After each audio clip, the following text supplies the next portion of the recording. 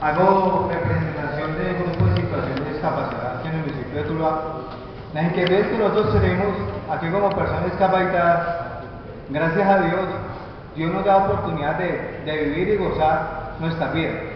Pero a mí soy una persona que lo que yo he hecho, lo he hecho con amor y con cariño, que cada uno como concejales me conoce, lo que yo he pedido, ese no es para mí, sino para las personas en situación de discapacidad porque a mí me ha tocado ir hasta Buga a pedir una cita para una persona en situación de discapacidad.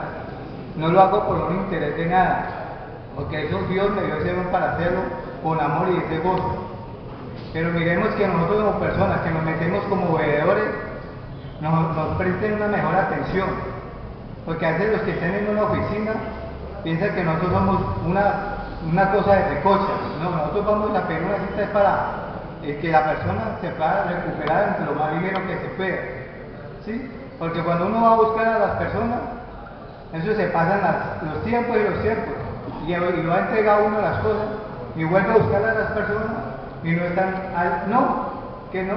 ¿Cuántas personas discapacitadas se han muerto con escaras, con tantas enfermedades que pero nosotros como personas discapacitadas quisiéramos tener lo que ustedes tienen, pero no los podemos tener porque Sinceramente los discapacitados en silla de ruedas no podemos, no podemos tener ese gozo de hacer lo que otras personas pueden hacerlo con mucho gusto, con cariño y amor. Que más de uno quisiera hacer eso porque Dios le hace oro. Pero entonces queremos que ustedes, concejales, y que más de uno me conocen, miremos que los que estamos en una reunión y nos metemos, que nos tengan en cuenta a las reuniones y puedan aprender de ustedes algo. Porque si no, ¿cómo vamos a aprender?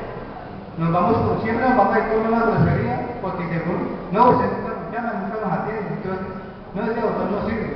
Es como en el hospital, y lo digo aquí en el hospital grande, yo fui a buscar al doctor, al segundo al doctor de, al su gerente, y una vez le dijeron, aquí no lo necesito porque usted muy desbaratado, y en el hospital grande.